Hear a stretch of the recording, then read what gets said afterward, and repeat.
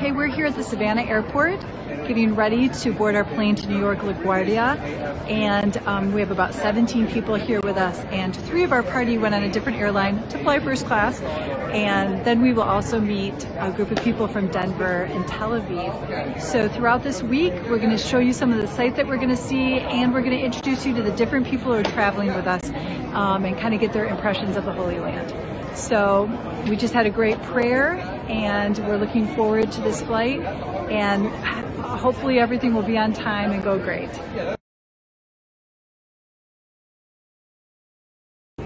So we're just sitting here waiting to board our plane and we have yet to leave the area and Bill Ward has already bought. The eating fest begins. Vacation is all about eating. Vacation is eating to Bill. Yeah. And it's not eating for me. No. Right? It's always the dream that I'll come back lighter than I went. Yes, and I just know I'm going to come back heavier, so I just I just celebrate it and own it. So. All right.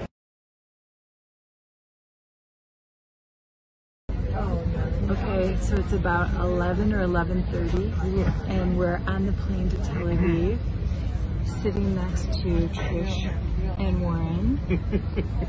and behind us are the general and his wife. And then here are some of our co-passengers. We have just a brief 10 and a half hour flight to Israel.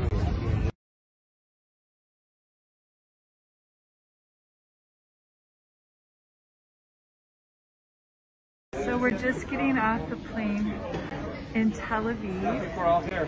Here's our guide. And here's our people. After a night of flying. 15. Oh, um, There's Tel Aviv. they're behind.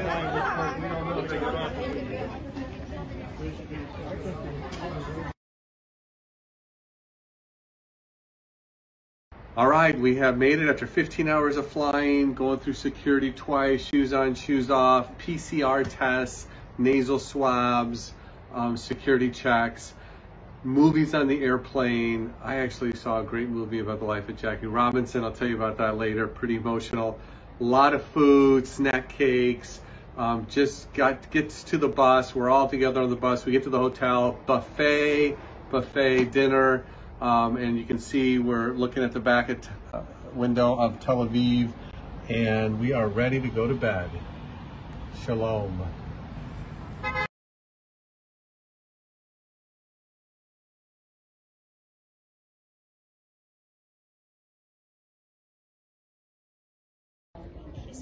Here at the Kidron Valley.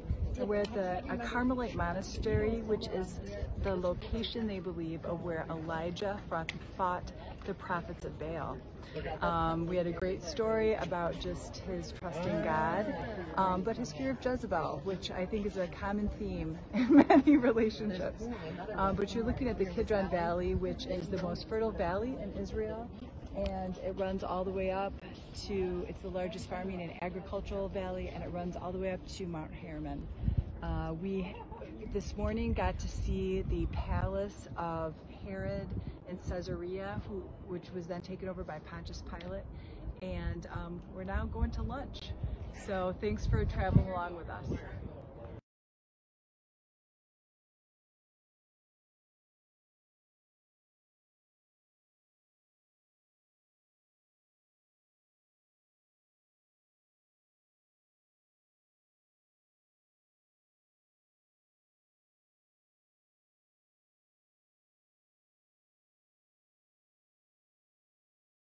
So I'll ask that you repeat these words, if you will. I reaffirm my vow to love and honor you. Giving thanks for what has been. And looking forward to all that will be. I will continue to share the journey of life with you. In faith and in hope. With God's help. Let us pray. Holy and wondrous God, as you accompanied our ancestors, so you journey with us today. When we enjoy abundant life and are held in your presence, we give thanks today that we stand in the company of the faithful, the grateful recipients of your steadfast love. Bless these couples in their life together. May they continue to grow in mutual love, extend forgiveness when they hurt each other, practice patience in adversity, set a table of hospitality, and be lifted in joy, all in service to your coming reign. Grant that we who have witnessed these reaffirmation of vows may find our own promises renewed in life and our faith strengthened, so that in joy and love we may continue the journey set before us with courage and hope. May our love, may our lives bear witness to the grace we have received from you, God of our present, our past, and our future. In Christ's name we pray. Amen. Amen. In the name of the Father, Son, and Holy Spirit. Amen. How about you make us the bride? Yo, oh, sorry, sorry, sorry, sorry. Sorry, sorry, I forgot. Is there anyone who objects? no. Okay. You may you may reaffirm with a kiss.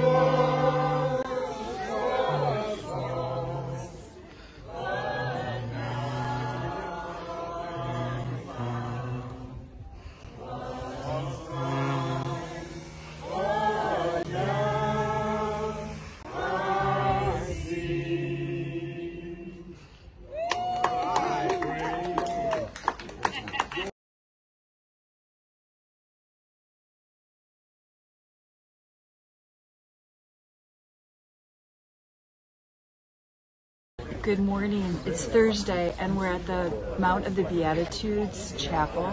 So it was in this region that Jesus preached his great sermon of the Beatitudes. And we've learned many amazing things, like in a normal theater, the actors are here and they speak up to the people, but Jesus, because he spoke with authority, was at the top of the hill and spoke down to the people. Probably one of the most amazing things here is Israel's just kind of been opened up for tourism and people of every nation are here singing, praying, young and old. It's really beautiful and encouraging for the church across the world.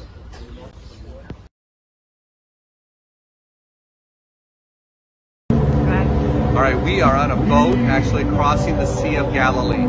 And we just came from the Church of the Loaves of Fishes and we were at the Mount of Beatitudes, read the Sermon on the Mount, um, and now we are on a boat that's probably similar to the fishing boats of Jesus' day and just having a relaxing journey across this great sea where Jesus actually called his disciples.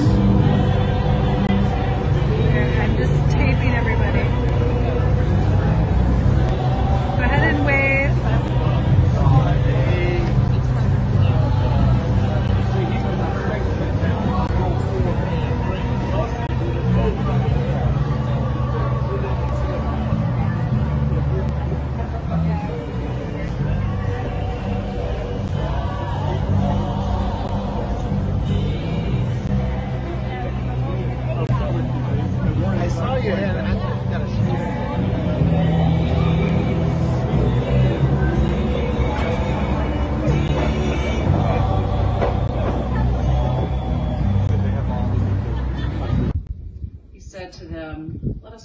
Across to the other side. And leaving the crowd, they took him with them in the boat just as he was. and other boats were with them. And a great windstorm arose, and the waves were breaking into the boat, so that the boat was already filling. But he was in the stern, asleep on a cushion, and they woke him and said to him, Teacher, do you not care that we are perishing? He awoke. He rebuked the wind and said to the sea, Peace, be still. And the wind ceased. It was a great calm. He said to them, Why are you so afraid? Have you still no faith? And they were filled with great fear and said to one another, Who then is this, even the wind and sea obey him?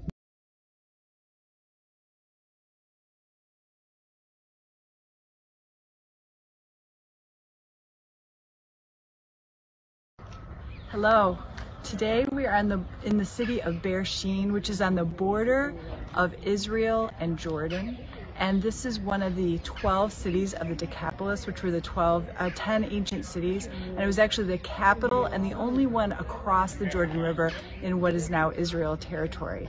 As you can see, it's an incredible ruin of a city. Um, it was uh, here until about the 600s, and then an earthquake just knocked everything over and people moved out. But we have a hippodrome, we have gyms, we have a sauna, we have public restrooms, we have a theater. It's incredible. And as you turn and look and see the main street, so this was the main shopping area, um, kind of like the Magnificent Mile in Chicago. Up behind us is what is called a tell. And we learned about this that in ancient times, um, one civilization would build on top of another civilization as, and as they deserted the land because of disease or if they were conquered, they just kept building until they had these artificial hills called tells. Um, finally, when we had the era of kings and leaders, they would build their palaces on top of those or fortresses so they could see the beautiful land around them. Now, the biblical link to this is that it was on the, the outer walls of the city that when King Saul and his three sons were killed in battle, they beheaded the three of them in the Old Testament and hung their heads here in the city. And the people of the tribe of Gad were so upset about this, that was one of the tri- 12 tribes of Israel, that they came, took down the bodies, took down the heads, um, burnt them over a fire, and buried the ashes. Um, so this is just an incredible privilege to be here. The technology is amazing. We're all amazed. We think we're um, progressive.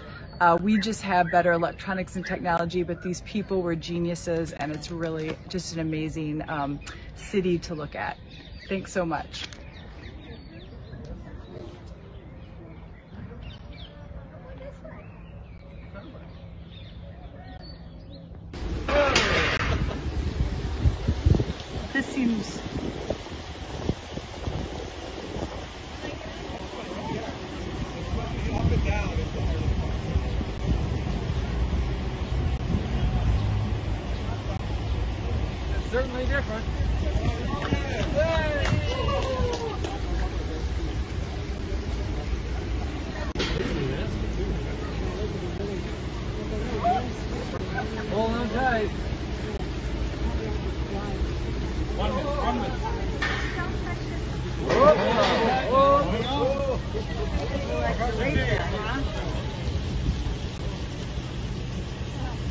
Lean to the left, lean to the right. لا اهم شيء الصورة هنا. هذا اهم شيء. يلا اوكي. يلا بيكتشر هي. Phil, give us a wave. All right.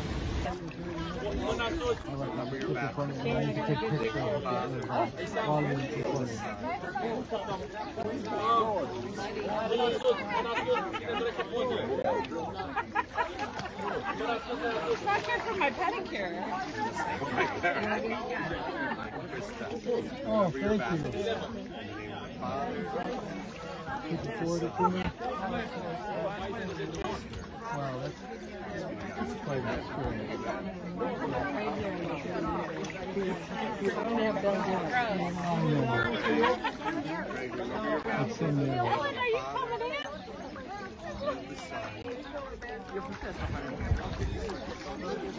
Yeah, it's, it's a better walk this way. And it's all one level until you get to. Then you go on. You're back. You already doing I'm good. Oh, you're good. You're good. You're good. Okay. I'm good. My husband and I are Okay. birthday. Yeah.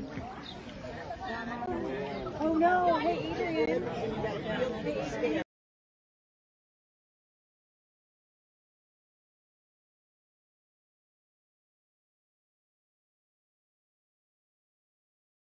Okay, we are here at Qumran, and this is take three. We did two takes outside, but it's so windy that we you couldn't hear the audio. So we're here at Qumran, which is the location of a community where they found the Dead Sea Scrolls. Now, the Dead Sea Scrolls, you've probably heard that a lot, but that is the oldest known version of the Hebrew Bible. And Qumran was a monastic community where people lived, men lived for about 300 years and just dedicated themselves to learning, reading, and writing the scriptures. Well, in 300, the Romans came in and sacked Jerusalem, and they came out here to also sack the Qumran community. And so they hid their scrolls in some jars in a cave, and no one saw them. No one even knew they existed. And then in about 19, the 1940s, a young shepherd lost was out here, lost his goat, threw a stone into a cave where he thought the goat was, and heard an unusual noise. He went and got his father. They went in, and there were clay jars with leather scrolls inside. Now, if you can believe this, they thought, great leather, we can make shoes out of these. So they took it to a shoemaker in Jerusalem, and he just happened to be an Armenian speaking Christian, so he could read Aramaic. And he saw how important these scrolls were. And the story goes on from there. We'll show you the, those, uh, the landscape in just a minute. But also, in addition, here, right, if we turn around, right across is the Dead Sea. And in the back of the Dead Sea are the hills of Moab. And so we have the great privilege of looking over to Mount Nebo, where Moses first saw the promised land.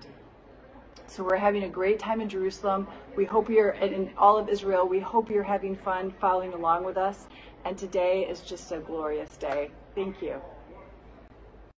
Okay, these are the hills behind Qumran with the caves in which the Essene monks lived. These are the walls of their community.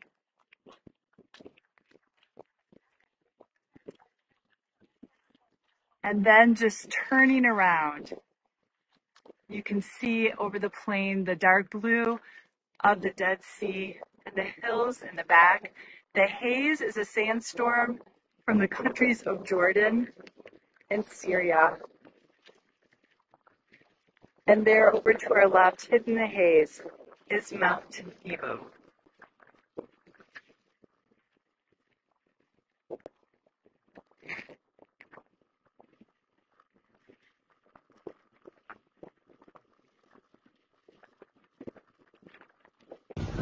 Here we are at the Dead Sea, which is the lowest place on earth. It has the lowest restaurant, the lowest bar, and then the lowest um, beach on earth. So here's some of our people waiting to get in, and we will definitely get back to them and uh, see them floating because you're not allowed to actually swim in the Dead Sea because there is too much salt. People dig out the high salt mud and put it all over themselves for skincare.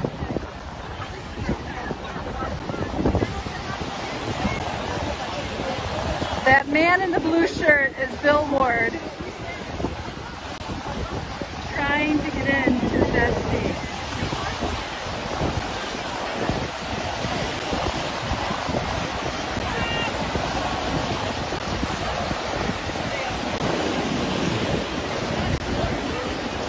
Here goes Greg Vivinci.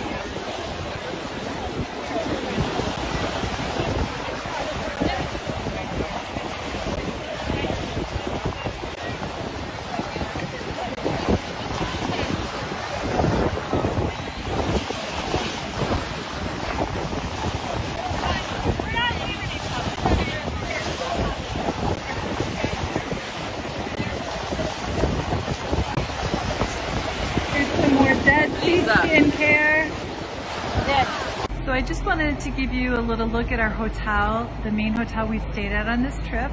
And this is in Jerusalem. This is just a sampling of all the tour buses that pull out outside.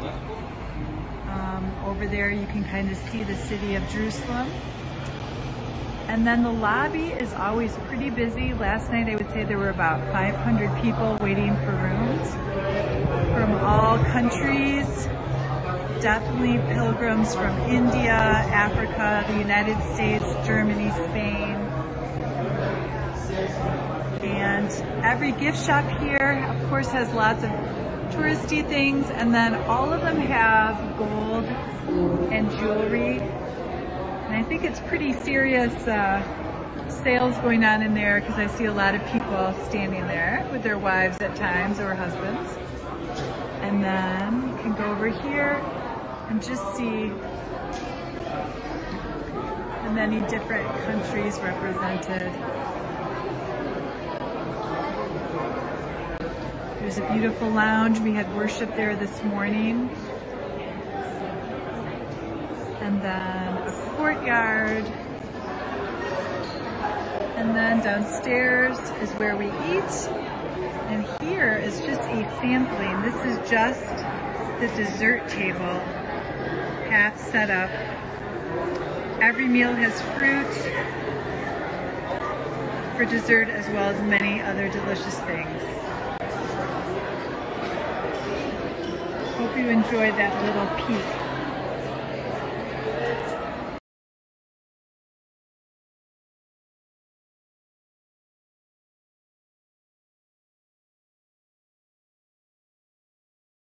Right, we finally made it into the walls of the old city of Jerusalem and we're right inside the eastern gate or the lion's gate.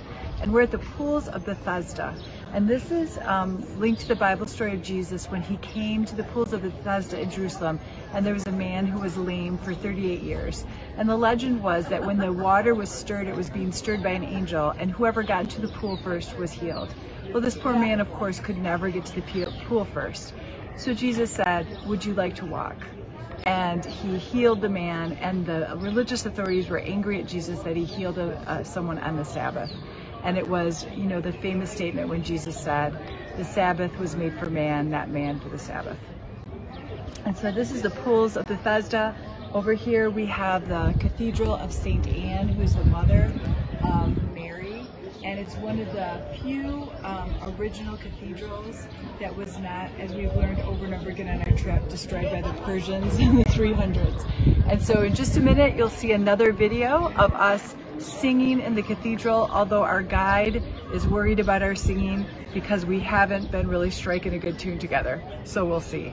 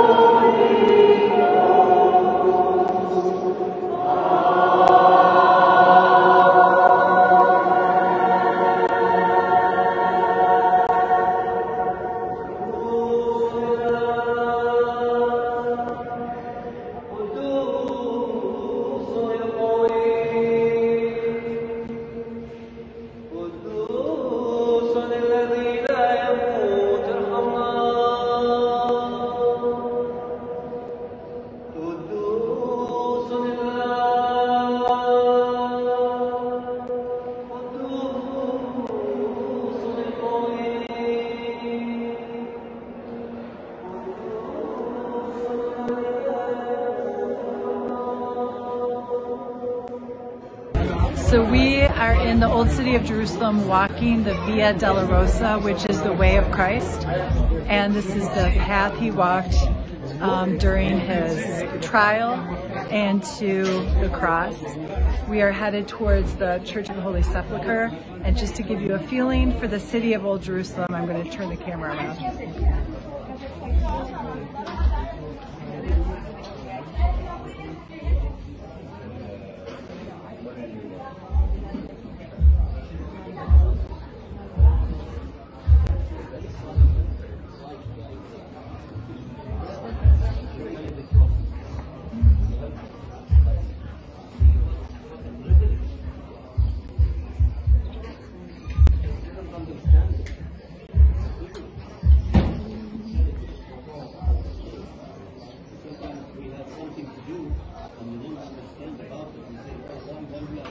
Okay, we are at the western wall or the Wailing Wall.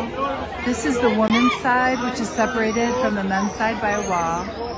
This is the outer wall of the Temple of Jerusalem and the place at which they believe is closest to what was the Holy of Holies. These are people praying and putting prayers into the wall.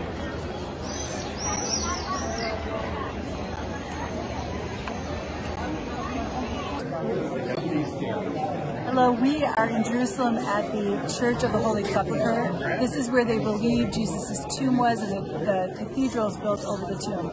But behind me, the man in the suit is the keeper of the keys for this um, church. And in the 1000s or 1000s, when the Crusaders were here and when they left, they gave the keys to this church to a Muslim family. And since then, for over a thousand years, this Muslim family has gotten up every morning at 4 a.m. and unlocked the church and locked it back up at 8 p.m. at night. So it's just great to learn the history, amazing history of Israel. Okay, well, we've made it to our last day in Israel. We're actually flying out tonight, and right now we are at the church where Mary and Elizabeth met each other during Mary and Elizabeth's pregnancy.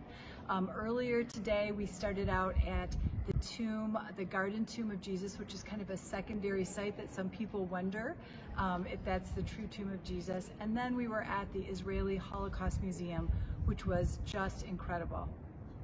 So in a minute, we're going to wrap up for this trip. We've had so much, just such a wonderful time, such a lovely spiritual experience, made a lot of friends, had a great guide, great community. Um, in a minute, we're going to walk you out to the beautiful view that we have. But before I go, I just want you to know that Bill Ward just broke a rule here and got in trouble by a Franciscan monk. It was the highlight of our trip. And so uh, we hope you've had a little bit of fun following us and maybe next time you'll come to Israel with us and just enjoy this wonderful history, cultural, and tradition that we've gotten to enjoy this week. Thank you.